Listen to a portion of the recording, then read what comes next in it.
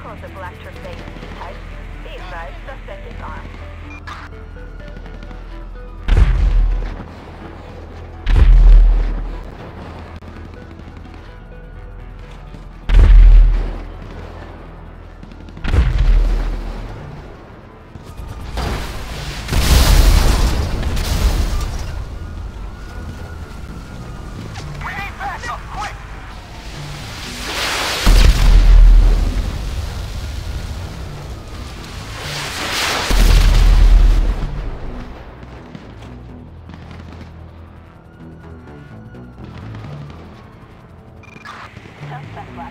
Near, um, off Blanca Blanca Ranch.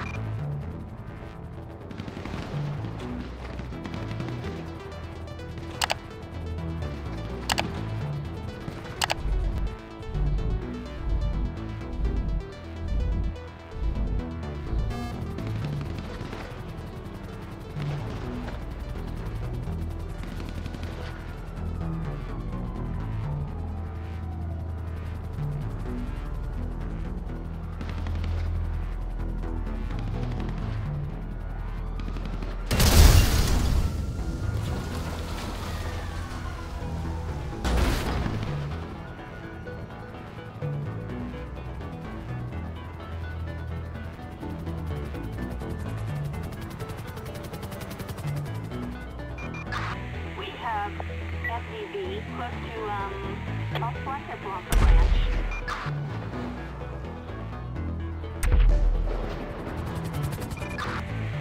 northbound on, uh, Santos Freeway in the Grand Senora Desert.